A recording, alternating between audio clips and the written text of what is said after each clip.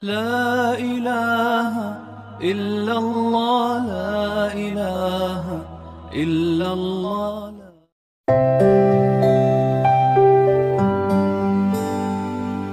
Inilah kisah mualaf mantan penganut ateis bernama Karima. Gadis cantik asal Amerika Serikat tersebut awalnya tidak percaya adanya Tuhan, tetapi atas kuasa Allah Subhanahu wa Ta'ala, Karima mendapat hidayah Islam ketika belajar sejarah dunia di bangku SMA. Kisah mualaf Karima bermula saat mendapat tugas kelompok meneliti acara-acara keagamaan tertentu. Saat itu kelompoknya mendapat bagian meneliti perayaan keagamaan Islam, yakni Idul Adha. Karima berperan penting sebagai pengumpul data di dalam kelompoknya. Dia pun belajar banyak hal mengenai ajaran agama Islam. Ketika itulah Karima langsung jatuh cinta dengan Islam. Namun, ia sempat merasa ragu dengan keputusannya. Karima pun melakukan perbandingan dari setiap agama untuk meyakinkan dirinya. Hasilnya, dia tidak menemukan agama yang sempurna seperti Islam.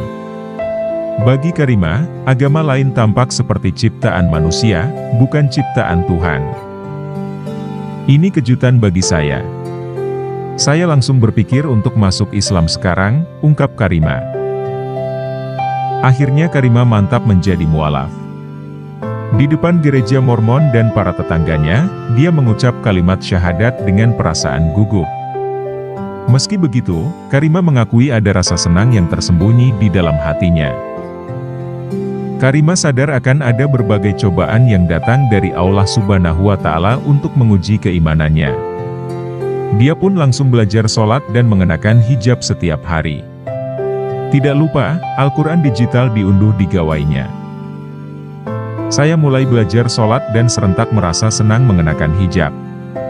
Saya juga mempunyai sebuah mushaf Al-Quran dan informasi di Android saya, ujar Karima. Dirinya mengaku selalu merasa bahagia ketika beribadah kepada Allah Subhanahu wa Ta'ala, terutama saat sholat. Bagi dia, sholat merupakan momen pertemuan seorang hamba dengan Allah Ta'ala dengan begitu dekat. Hatinya pun selalu tenang ketika melakukan sholat.